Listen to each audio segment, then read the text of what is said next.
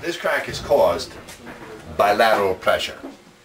The lateral pressure, which is caused by the water that surrounds a foundation, the weight of that water, and the mud, it easily just push this wall in.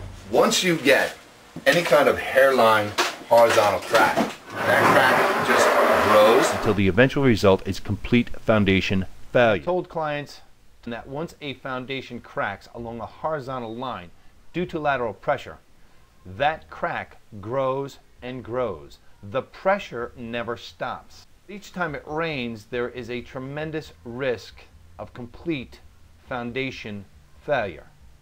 If that happens, well, the house becomes condemned. The homeowners have to move out.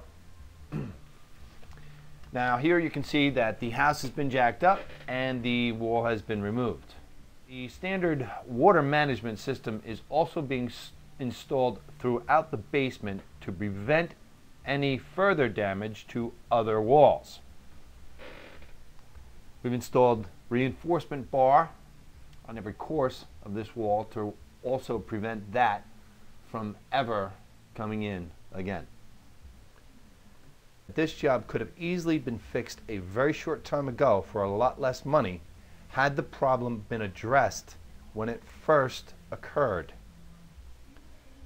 The jacks you see remain because cement takes uh, at least 30 days to cure and you don't want to put the full weight of the house on the wall until that time passes.